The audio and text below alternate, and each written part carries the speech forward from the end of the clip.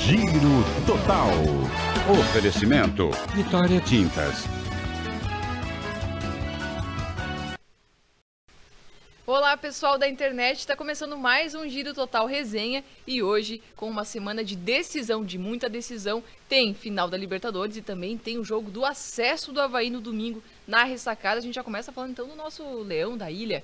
Chico Lins, qual a expectativa para o jogo? Será que o Sampaio Correia vai fazer frente a esse Havaí que vai estar tá com a casa cheia, né? Olha, Jéssica, é, em condições normais, de temperatura e pressão, o Havaí é super favorito. Mas aí envolve um jogo, o nervosismo, a ansiedade, a grandeza assim, de um acesso, né? a, a importância para o clube de um acesso, questão de, de da glória né? dentro de campo, questão da, da, da importância da, da, de receitas né? vindas de uma Série A de Campeonato Brasileiro, uma mudança de patamar do clube. Então, tudo isso que envolve o jogo deixa um jogo um pouco mais, não digo incerto, mas é, é nervoso. O Havaí é super favorito. O Havaí, é, é, se repetir, por exemplo, o que fez contra o CSA né, é, em casa, umas três rodadas atrás, o que mesmo fez contra, contra o Náutico na última rodada, o Havaí é super favorito. Né? Embora o time esteja cansado, desgastado, sempre tem um, o, o, último suspiro, e esse último suspiro vai vir da, da, da, da arquibancada o apoio do torcedor, que agora que foi liberada a presença do público, né, a, a, capacidade total da ressacada, eu acho o Havaí muito favorito. Né? Mas é claro, um jogo nervoso, um jogo que o torcedor, apesar da confiança, deve estar um pouquinho é, é, ansioso demais até para ver terminar logo esse, né, esse campeonato desse ano.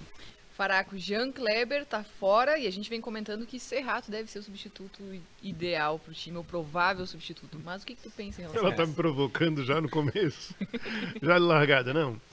Eu tenho que ser coerente com aquilo que eu falei durante todo o ano de 2021. Para mim, o Serrato não seria titular nesse time do Havaí. É, o Serrato ele não, não é um jogador ruim, nem nada disso. Eu acho que a questão é a dinâmica do jogo. O Havaí ficou mais dinâmico com outras opções no meio de campo. Até mesmo quando em alguns momentos o Claudinei trouxe o Lourenço para o lado do Bruno. Não foram muitos momentos, mas eu vou lembrar de um. Lá no Mineirão, contra o Cruzeiro. Em determinado momento do jogo, o Serrato até começou bem aquela partida, ele fez o primeiro gol do Havaí. Mas em determinado momento do jogo, no segundo tempo, o Lourenço veio para essa função, entrou mais um meia e o Havaí deslanchou. É, confirmou a vitória, foi uma das grandes vitórias do Havaí.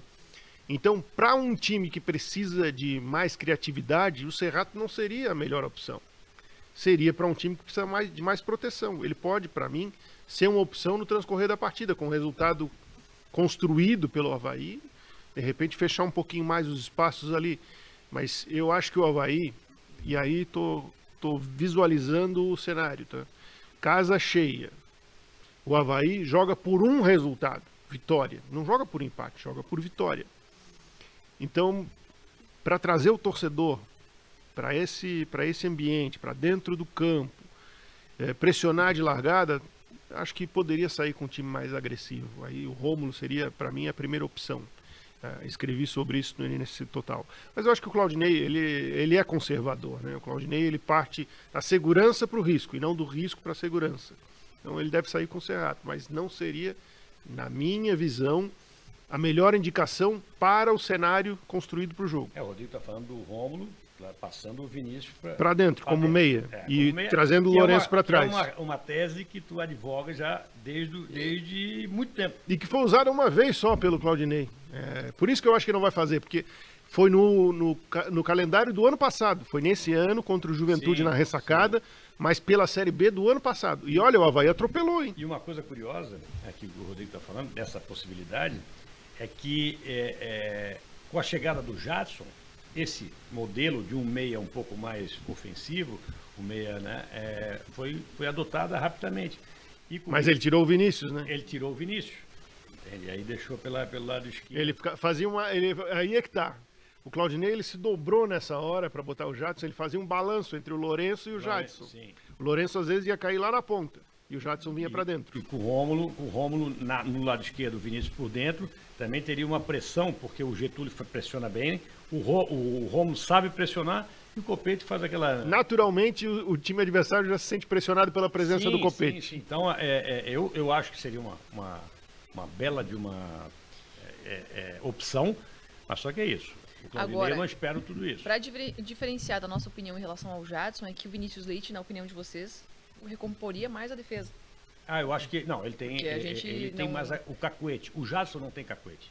Né? O Jadson. Até pela idade. Não, ele é cacuete, né, Chico? O Jadson. É pesado, é um outro 500 jogador. anos já de carreira, vitórias por grandes não camisas. só idade, né? É O um Jadson. momento, assim. E é- ele, ele quer a bola no pé, ele queria a bola no pé. Não dá.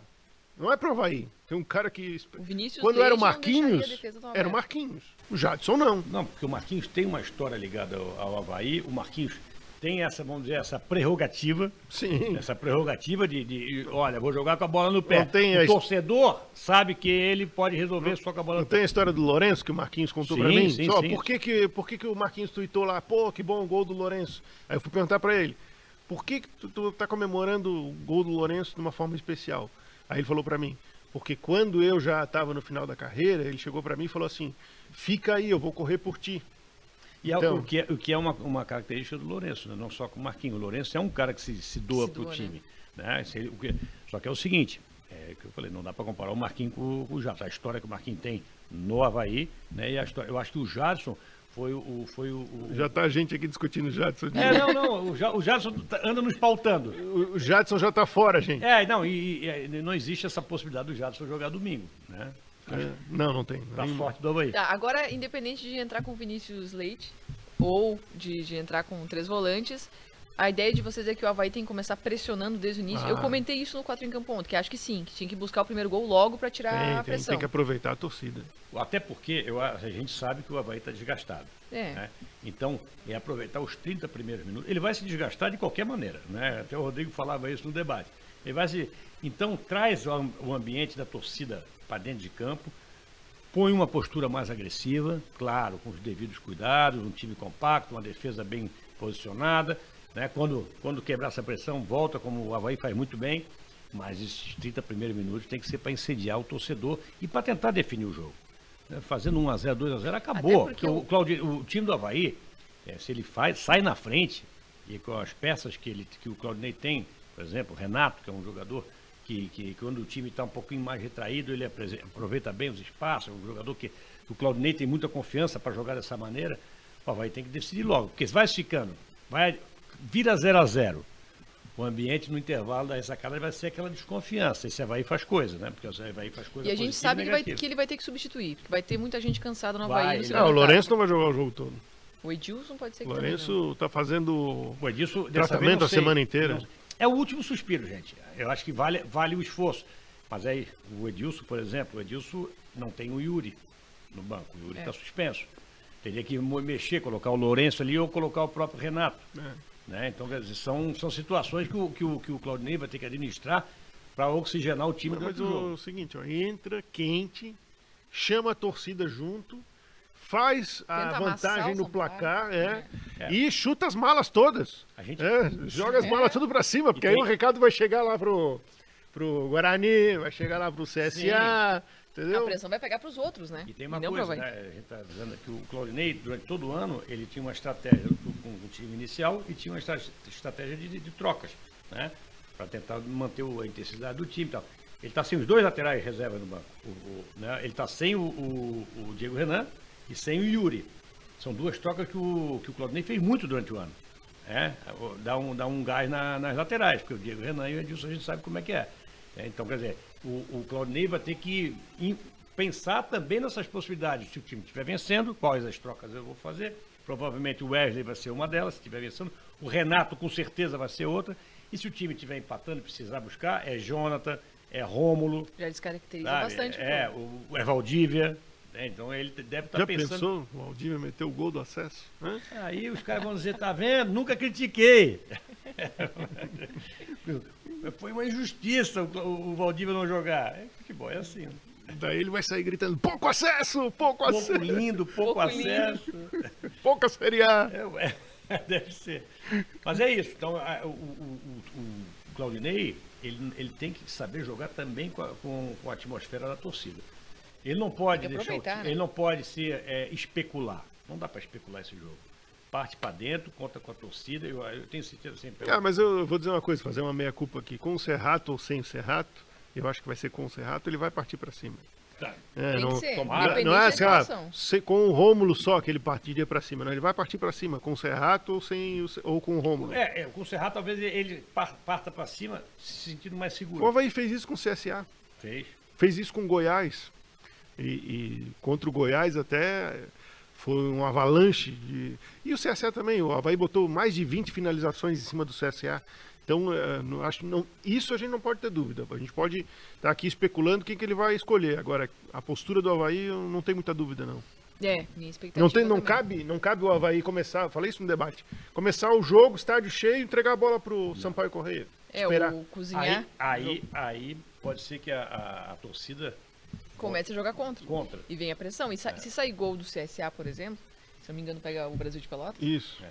Já a- bota já uma bota pressão. uma pressão né? gigantesca em cima do, do time, né? Então, por isso que eu disse, por isso que eu falei, começar a chutar as malas. Porque se o Havaí sai na frente na rodada, o recado vai chegar. É, e aí isso. os caras vão dizer assim, pô, não vai a adiantar torcida nada, porque o Havaí tá Sim. fazendo a parte dele. É, bem, nessa, bem nesse sentido. Outra decisão desse final de semana é a Libertadores, né? Faraco tá aqui. Tem? Faraco e Chico estão Tem nervosos. É, quem Ah, joga? eu nem Flamengo e nem sabia Palmeiras. que tinha decisão de Libertadores no final de semana, é verdade. Agora, Grêmio Quase isso. pra mim o Grêmio também é uma decisão, tá? Porque tá É, difícil. também, também. Agora, pra vocês, gente, é, tenho lido em alguns lugares estão dizendo que o Flamengo vai amassar o Palmeiras. Vocês acreditam nisso? Eu, particularmente, não acredito. Não, não existe assim. isso em final de Libertadores. É. Pode até acontecer. Agora você vai, ah, vai amassar. Até porque o, que, que a gente tem visto nos últimos anos no futebol brasileiro? Flamengo e Palmeiras dividindo os principais títulos. Ah, o Palmeiras é campeão da Libertadores atual, é o campeão da Copa do Brasil. Flamengo atual campeão brasileiro, foi campeão da Libertadores 2019. Então, não existe isso de amassar. Eu acho o time do Flamengo melhor, é, o grupo melhor. Agora, eu sei que vai ser uma final equilibrada, claro que vai ser. Todos os jogos entre Flamengo e Palmeiras, os últimos todos, foram equilibrados. Eu acho que o Flamengo é, tem os melhores jogadores e, e o Palmeiras tem um time mais organizado. Né? Isso. Ah, vai ser assim, é um confronto do individual com, com o coletivo? Eu não sei, eu não sei. Geralmente para as finais, em jogo, em- em jogo único, os técnicos preparam alguma surpresa. né? O Renato está sendo muito criticado né? por- pela forma de jogar do Flamengo, pela questão de ter abandonado um pouco o Campeonato Brasileiro. Eu não sei se não está preparando aí. Tem algumas, algum- algumas dúvidas se o Rascaeta vai jogar de cara, se vai entrar o Michel, que está numa fase de graça, né? Está tá, tá É o momento encantado. dele, tá né? encantado. Graça não, custou 7 milhões de euros. Está De euros? encantado, é o momento. É, mas assim, eu acho, eu assim, eu acho o Flamengo 20 milhões de euros custa o até Michel. porque, até porque, se não me engano, o Flamengo Mas não era o euro de agora, tá? É, era um euro mais barato. né? Ah, mas era um euro. Mas era. Era euro. E eu acho que o Flamengo parte com um pouquinho de favoritismo. né? Claro, não, não vai ser surpresa, também acho que não tem a- ninguém vai amassar ninguém, mas eu acho que o Flamengo parte com um pouquinho mais de, de, de- de vantagem, porque tem jogadores, mais jogadores para decidir. né? O Bruno Henrique é um senhor liber- Libertadores, Gabriel Barbosa a gente sabe como é que é, tem o Everton que teve, teve uma queda esse ano, mas ainda é o Everton Ribeiro. O Michel está nesse momento bom, mas deve ser opção para o segundo tempo. O Arrascaeta voltando de lesão. Mas eu acho o Flamengo um time que pode decidir a qualquer momento. E o, e o Palmeiras, se o jogo for sendo levado, Palmeiras é muito estratégico. é, É, eu acho tem que aí é mais lado, tem um perigoso. treinador jogadores, rápidos. tem jogadores muito rápidos, por exemplo, o Rony em cima do Felipe Luiz, é uma preocupação que eu acho que o, o flamenguista tem. E entre os flamenguistas eu. Eu acho que o Palmeiras sabe muito bem o que faz em campo. É um time muito consciente em campo. Sim, sim. Ah, sim, entre o os, Abel é mais técnico entre, do que é, o Renato. eu ia falar isso, Exato. entre os Vamos- deixar técnicos, bem claro. o treinador que faz estratégia, que treina o time É o Abel. na mão dele, é o Abel, exato. O Renato é aquele negócio que ele conversa de vestiário, dá moral pro jogador. Ele mesmo fala, né, que eu sou pago para dar moral para jogador. Não, é pago para treinar. Só que o que, que a gente vê no Flamengo hoje em dia? A gente vê o Flamengo desorganizado na sua transição defensiva, principalmente atacar com aquela qualidade toda. é, o Flamengo naturalmente faz. Vai dar um jeito. Agora, e a organização defensiva? O Palmeiras não. O Palmeiras tem um jeito de jogar muito forte, uma defesa muito sólida e um contra-ataque mortal. Então, o, o jogo contra o Atlético no Mineirão mostrou isso. Em nenhum momento o Palmeiras se desesperou por ter levado o gol na frente. Até tem a sabia imagem do. Abel É. botando a mão na. Porque sabia que um gol resolveria a A- parada. Até na verdade, se a estratégia do Flamengo for empurrar o, o Palmeiras contra a parede, talvez o Palmeiras goste. Sim, Ele vai poder sair aí jogando. é- mais vai- espaço para velocidade. vai jogar o que ele está treinando há um mês. É. vai jogar da maneira que ele, né, o Flamengo iria jogar da maneira que o Palmeiras está treinando. Se o Palmeiras, se o Flamengo espera, também não vai esperar, porque não é, não é, não é da natureza do Flamengo, ele co- colocaria um pouco é, na dúvida o Palmeiras, porque o Palmeiras tem uma dificuldade de atacar um time né, com uma defesa mais estática. Né? Mas eu vou dizer uma coisa para vocês, tirando as características dos times, como eu gosto dessa final única. É, eu tenho lido alguma, algumas coisas assim, não, ah, final tem que voltar a ser de dois jogos, um na casa E de cada um. volta. Mas eu, eu- a final única eu A acho que é atmosfera- especial, é, né? atmosfera- Mesmo que eu acho que o grande erro da Comebol é o, a questão do preço, os ingressos estão muito caros. É, elitiza, É, né? exatamente, tira o, tira o povão, né? Mas nem a questão de ser o povão ou não.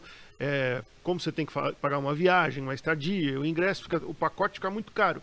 Mas a final única tem, outro, tem outra Mas, ah, exemplo, atmosfera. A final única, eu acho que Flamengo e Palmeiras, em qualquer lugar da América do Sul, vai, vai estar cheio. Mas na final única na Sul-Americana, a gente teve um, um exemplo que na- o, o- talvez os times da, da Copa Sul-Americana, que eu estou com todo respeito ao Atlético e ao Bragantino, não tem um apelo, talvez, para fazer desse jogo um grande evento. É, aí é que tem que ser repensado, né? Porque por que, que não faz como a FIFA, que distribui alguns ingressos de forma Sim, sim, social, né? De uma ação social. Então por que, que a Comebol não fez para colocar mais gente no estádio na final da Sul-Americana? Até porque a, sua, a, a situação financeira da, da América do Sul é diferente da Europa, Total, né? né? Então tem que levar em consideração É isso diferente também. também, por exemplo, porque você está na Europa, você está na, na França, vai para a Alemanha, pega um trem, em Exato. quatro horas está lá. Aqui, aqui é, o- os deslocamentos são muito mais É, complicados. e aí quando pega uma- um Flamengo, sim, que vai ter uma. Como tem uma torcida gigantesca, vai ter uma faixa da torcida que tem condições de lotar um estádio mesmo sendo um jogo em Dubai, não sei. Mas pega outro. A maioria dos times da América do Sul não tem essa você condição. lembra aquela final da, que deu confusão na Libertadores, do, Boca e River, que foram pro Bernabéu. O Bernabéu estava lotado. É. O Bernabéu estava lotado, mas foi um evento programado e aí, de certo, distribuíram, não era só torcedores que saíram daqui para ir para lá. Claro que tem muitos argentinos de Boca de River que moram em Madrid, mas ali foi feito um evento danado. Aquilo lá foi quase uma final única, né? Porque É. o primeiro jogo terminou empatado, a É, decisão exatamente. era lá, e aí levaram Exatamente. para um local É, eu diferente. era- eu nem lembrava que era dois jogos. Sim, foram É, dois jogos. exatamente. É E talvez a- a- por causa daquele lance que teve um. uma- Não, acho que já tinha sido determinado É? antes, que, que o ano seguinte seria final única. Acabou sendo um evento teste. É, Agora, tem, tem alguma dúvida grande na escalação do Sim, já era, já estava assim, porque outro dia eu vi, esses dias, desculpa, Jéssica, eu- vi a final de, de Madrid, Aham. e quando terminou o jogo, na, no- na propaganda embaixo, a estática, passava já, nos vemos em Santiago, porque a Ah. final seria em Santiago. Thiago não foi por causa da. da- Teve algum problema lá que. Não, foi uma questão social, Social. no Chile. Isso, isso, isso. Aí foi para Uruguai. Não, Foi para Lima. Lima, Lima. Isso, Uruguai agora. É. Agora. Minha memória é sempre boa demais. Ainda bem que a dele é boa, né? Não, mas é minha por isso, por isso que a nossa dupla funciona. Ele é a memória e tu é o porque não, raciocínio. é, pô, eu não, eu falo, eu falo alguma coisa, eu sei que eu posso contar com ele e vai me corrigir. Agora a gente falando sobre, o, sobre as escalações, alguma dúvida grande em relação à escalação do Sim, Flamengo? tem. O Arrascaeta? Nos dois times tem dúvida médica. O Felipe Melo, passou preservado as últimas semanas, mas nos dois times eu, eu acredito que os, que os dois joguem. E no Flamengo o Arrascaeta. Mas eh, vem sendo trabalhado para Se isso, para fosse o final. Renato Gaúcho, quem tu colocaria? Não, Arrascaeta. E o Felipe Melo é importante para o Palmeiras. É, com a bola que ele joga, as viradas de jogo maravilhosas do Felipe Melo e com a Imposição, liderança que ele tem. Posição, liderança. Eu, eu, eu- o Felipe Melo, acho que é um jogador. Felipe Melo, filhote da Gávea, hein? É, mais um, né? E flamenguista de coração. Aí Ah, daí tenho- a gente já não sabe. Jogou no Grêmio também. Mas hoje Tá já pro muito Inter, palmeirense, né? Porque ele É, vestiu a ele camisa não, do tá Palmeiras. Mas ele tá negociando com o E é um, cara, e é um cara que eu vou te falar assim, não tenho muita simpatia por ele não. Mas a carreira, né, a gente, ele ficou muito marcado pela questão da Copa do Mundo, 2010. 2010? Foi. Sabe que eu tenho uma camisa em casa da Inter de Milão, do Felipe Melo, que ele me mandou assinada? Melo. É mesmo. Olha só. É, eu sempre fui Pessoa fã. importante que tem aqui eu sempre fui fã do É futebol do- É nível. outro, pa- é, Eu sempre fui fã do futebol é do Felipe Melo. outro patamar. Faraco? Vaguinho de. Vaguinho, Vagninho. É uma das camisas que eu tenho mais carinho. Vamos explicar aqui. O que o Rafa, nosso, nosso querido produtor aqui, é, ele é, é coxa e o ele acha que. Ele é fã do Vagninho. É, que no, no, no, no Balão d'Or, no Balão de Ouro desse ano da FIFA, tem que ser Vagninho, Messi e Lewandowski. Não, ele me falou que é Wilson, Vagninho e Léo Gamalho. O top 3. Gente, o Giro Total Resenha vai ficando por aqui. Siga as nossas redes sociais, a gente vai publicando tudo nas nossas redes sociais e também siga a nossa playlist no Spotify. Até a próxima!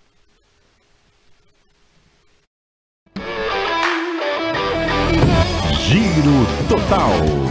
Oferecimento Vitória Tintas.